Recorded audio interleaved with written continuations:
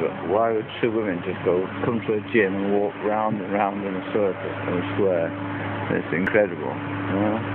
These two ladies that come here and just go walking around in a square and uh, you think I'm crazy. You live in a beautiful place out in the mountains, everything else, and you walk round and round a sports gym. It's crazy, insanity. This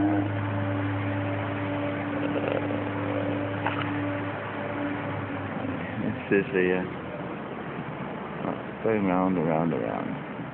Absolutely crazy. Walking round ten times on telephone. Right, okay.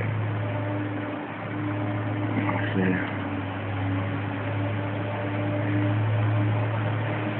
see.